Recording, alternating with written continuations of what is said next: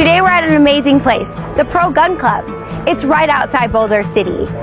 Thousands of shots are being fired out of this incredible shooting compound every day. But today, a great group of people are coming together to have a good time and to support the surviving families of veterans who have lost a loved one or have been severely injured in action.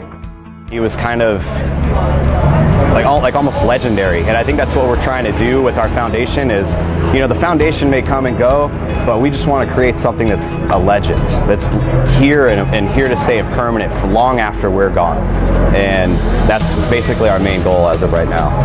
We just kept doing, it, kept putting one foot in front of the other, and had to keep marching forward and you know and continue on, and so now our our main focus is to definitely keep good graces by Shane's name and and you know build him up to be you know he's a legend. We definitely want to cement his mark on the face of the earth.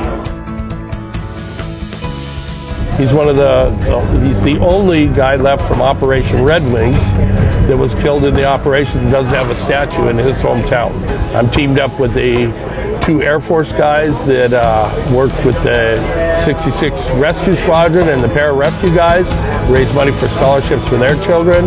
We're trying to build a statue for Shane Patton in Boulder City now. This is the fourth year and we've netted in three years $96,000 to date.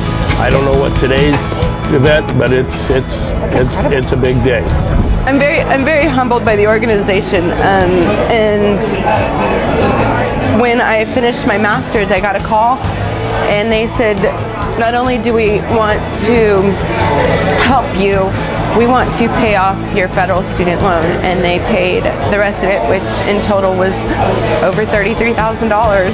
And so to have your college paid for and to come out knowing that you don't have anything to pay for after that and you can start your life is amazing.